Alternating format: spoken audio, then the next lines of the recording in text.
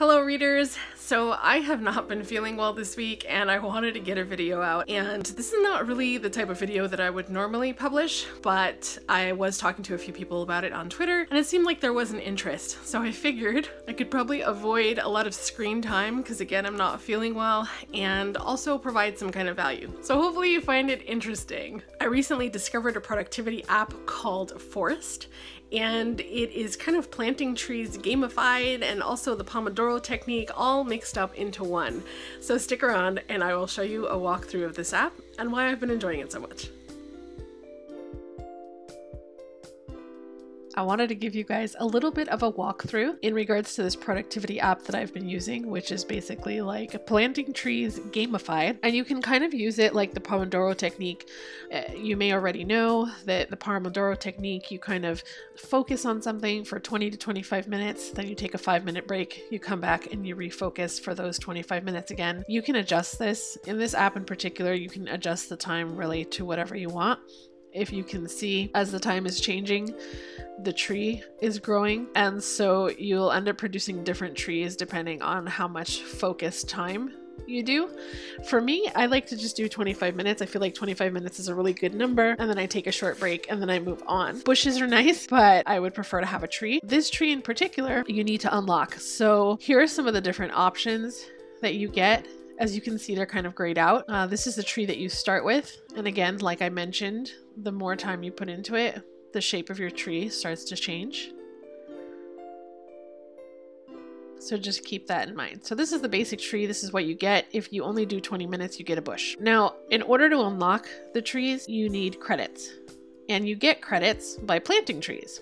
So if I can get through a whole 25 minute block, I will get nine credits for that. You're going to get different credits or coins um, depending on the amount of time that you focus. So the more you focus, the more coins that you get. But again, like I said, I just like doing 25 minutes. So in order to unlock your first tree, you need to have 500 coins. Once you unlock a tree, so this was the first one I did. I did the cherry blossom. I paid 500 coins for that. And now the second round, of trees to unlock is 600 coins. And then I think I purchased a palm tree.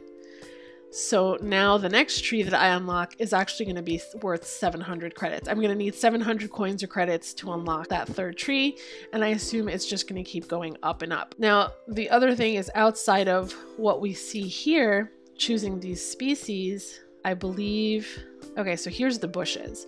These are all like the different types of bushes that you can unlock. I don't know how much those cost. Okay, so yeah, those are 700 as well for me right now because I've already purchased two. Now, the other thing is that as far as coins go, I bought an elixir for $1.99. And what this elixir does is for 21 days, I get triple the amount of coins every time I plant a tree. So, um, I don't know, that felt worth it to me. So I, I, I am a gamer. I do want to unlock things. I want to achieve things. And so I can see how people might periodically pay $1.99 to make that possible. Alternatively, you can buy a bottle of elixir for 99 cents, and that gives you three times the amount of reward for seven days. So just something to think about. You can totally use this without doing that, um, but it felt worth it to me. Now, the other really cool feature is that you can do it with a buddy.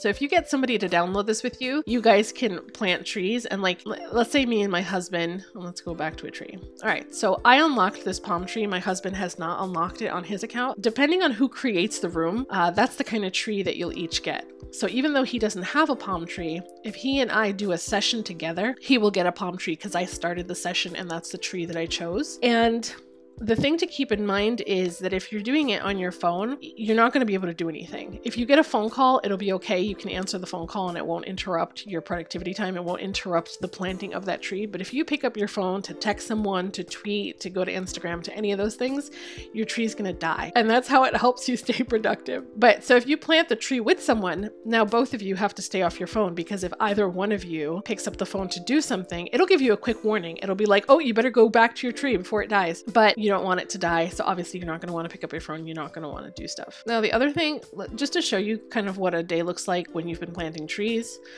So this is here just to say, hey, you haven't been productive today. I've been sick, so I haven't done anything today. Let's go to Friday. These are all the things I planted on Friday. So I had 240 minutes of focused productivity.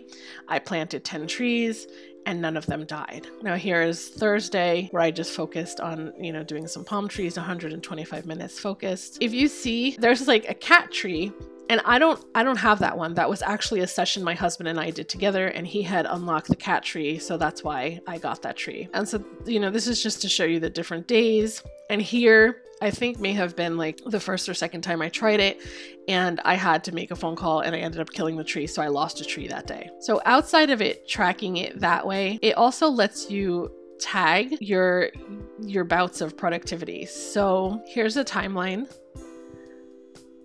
of things that I've done. And as you can see, it's been tagged work. I went in there and I said, okay, this 25 minutes was work. I focused on work.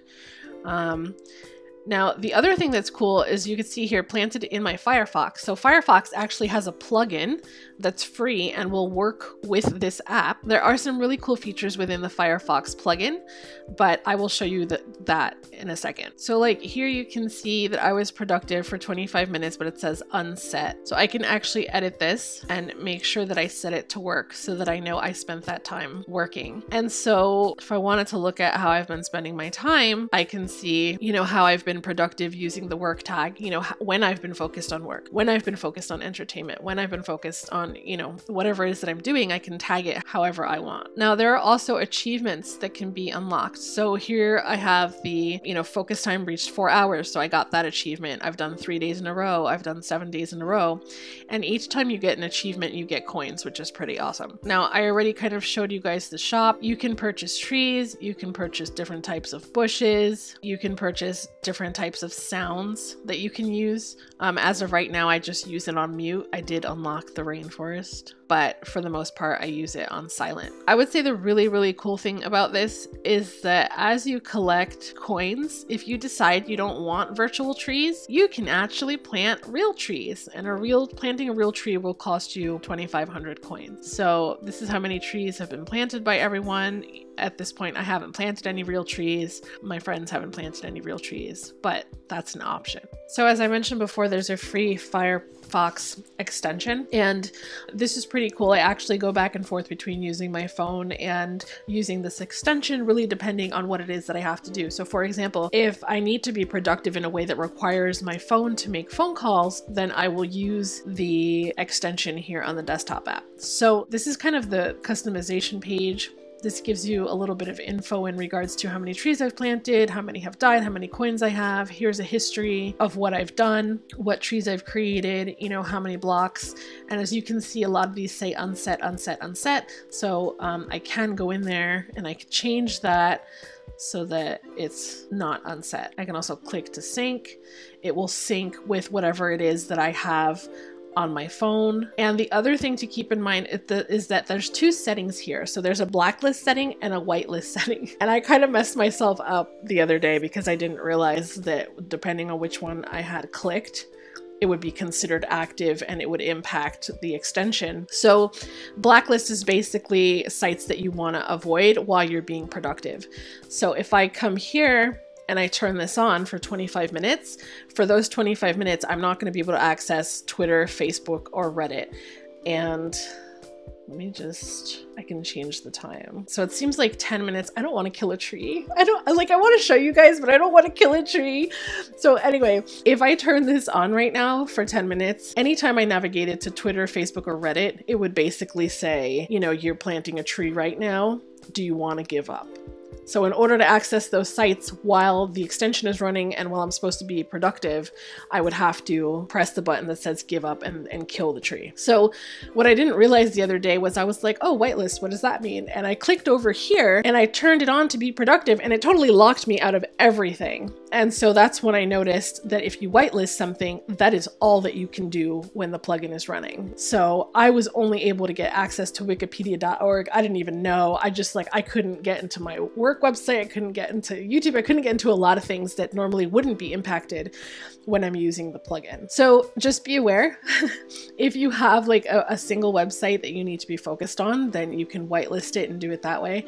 But uh, I think you're better off just probably blacklisting a few sites so that you still have access to other things. Anyway, so just like the app, you can come here and you can pick different bushes, you can pick different trees, and you can change the time.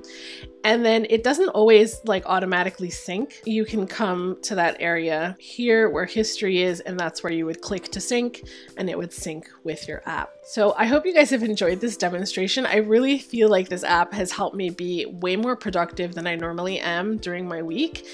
And when I first downloaded it, I was actually eager to go to work on Monday. Like, that never happens. so, hopefully, you find this just as useful. And uh, that's about it. Alright guys, well if you found this video valuable, go ahead be sure to like it and share it with a friend. As always, be sure to subscribe and don't forget to hit the bell to be notified when I upload new videos. Thanks for watching and see you next time.